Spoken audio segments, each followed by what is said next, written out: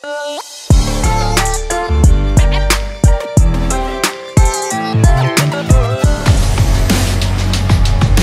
balón a pivote. Eso ese.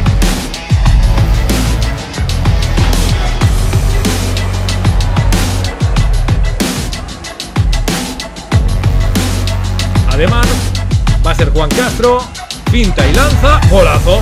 Que para el final, y está por decidir.